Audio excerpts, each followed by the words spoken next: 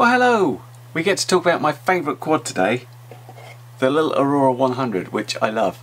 Unfortunately though, as you might have uh, inferred from the title, it it died. What happened is I was out with Neil and we were having a great old time just racing around uh, these trees. We made ourselves a little track which goes all behind the trees and then around uh, these sort of I'd, I'd guess you call them little trails, completely surrounded by trees, but plenty of space to fly.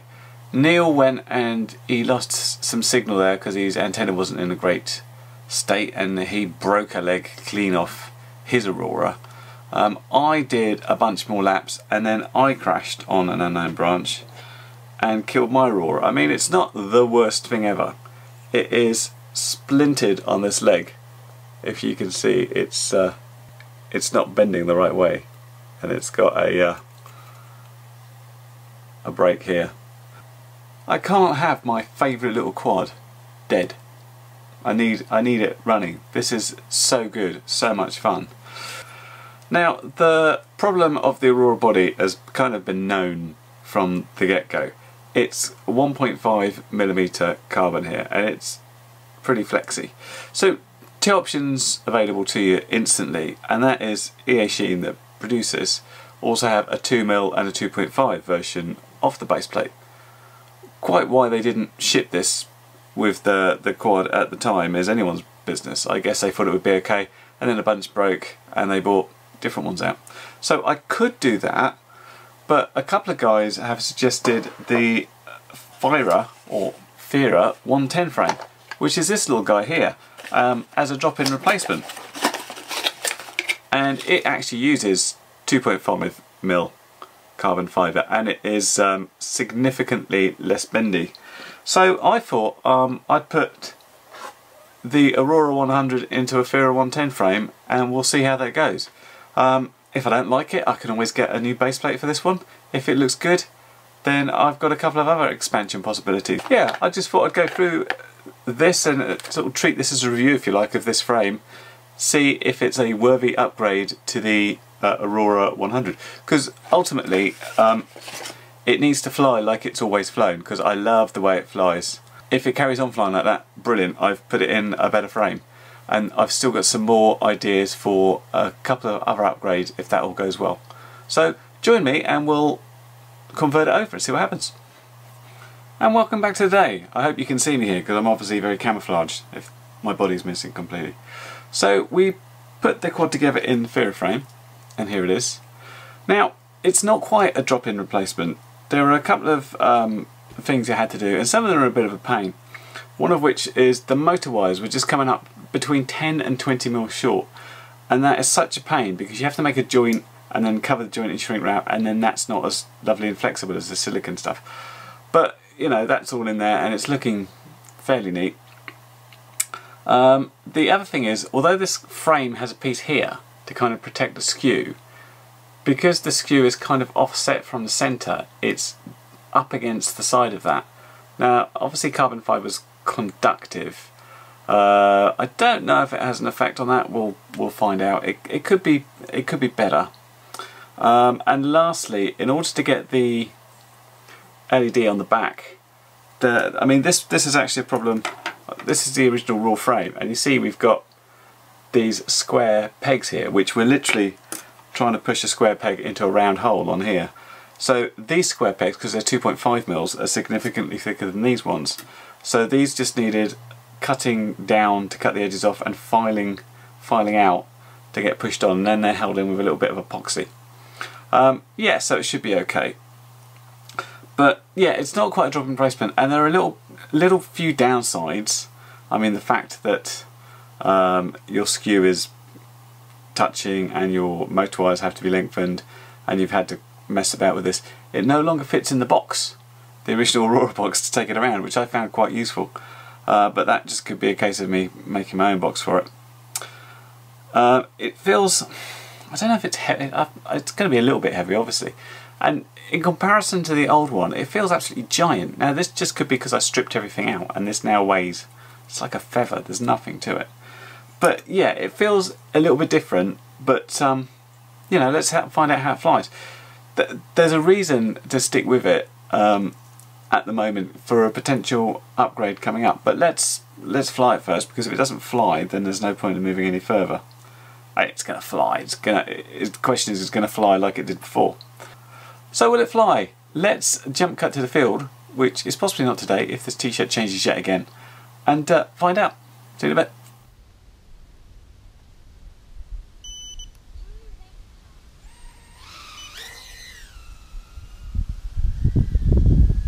So we're up in the air, and the great news is that I can't really feel the difference. It feels just like the Aurora 100 did. But there are a few differences, and I mention them now because I forgot to mention them in the wrap up a bit later. You will notice there's now props on display which weren't visible previously, so the frame has changed shape in such a way that the props now show up which is interesting because when I looked at it before, I thought, no, that won't happen. But yeah, the camera was jutting out a little bit further forward previously. And this one's more set back so you can pick up the props. It's not a big deal for me, but um, it could be for some other people, so I thought I'd mention it. I am getting a lot of video breakup here. And I wasn't sure if this was because there were the trees, or it was touching the frame, or just the skew was knackered but we'll come back to that later. But yeah, as far as the flying goes, despite what I perceive as being a little bit of extra weight, it had the punch, it was still nimble and really agile in the air. Absolute no problems at all. So, you know, happiness is here so far. So, what about the case of, well, okay, it's a new frame, is it a strong frame? Well, to test this out, I decided to ram a tree. Well, no, that's not true, is it? I tried to go through a tree gap and it failed hideously. This is pretty thick bush. I thought I'd just show this bit because from the air it looks like quite easy stuff to get through, but it was thick bramble um, and it was really tough going. I was only pleased that, well, it was beeping mentally and the battery was still in there else I think I would have just given up trying to find it through this lot really thick so as always careful where you fly these things. Well I always like to provide a public service and crash into a tree just to see how the frame is and uh, I think you'll see from the damage sustained by the props it pretty much went full on there. Just looking back at the footage I'm not quite sure how I was going to fit looking at the line of trees. I think I just got so um, sort of distracted by the fact there were multiple sort of gaps that I needed to miss the one on the left and go for one on the right and forgot to line up and just cracked into it. Now, frame wise, nothing nothing broken, nothing scratched. So strength wise it's looking pretty good and it still hasn't got of course that much um, weight behind it so whenever it cracks something it just bounces off. Now the reason I didn't carry on flying this is because I seem to have cracked something which has shorted the beeper. It's still doing the normal beepy noise underneath, but I think something's jolted and is, is getting it to go all the time. Which is brilliant for finding it, but not so good for flying it, so I didn't continue. But uh, let's just track that down now and then we'll uh, finish off. Well, that was uh, a pretty quick fix. It um, Plug it in now.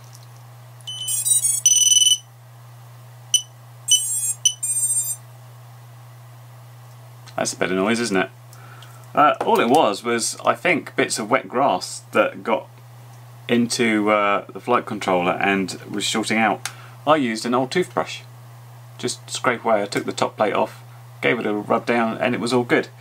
Whilst I had the top off though, I took a quick look at the skew to see if I could work out why I was getting quite a lot of interference. I mean there were trees around and stuff, but it looked a bit more than normal and I in fact found that um, the two lobes, the bit here, had separated. I will show a close-up of this, but these this lobe and this lobe are held together with this little thing that got squashed and separated. I think that was from the previous crash.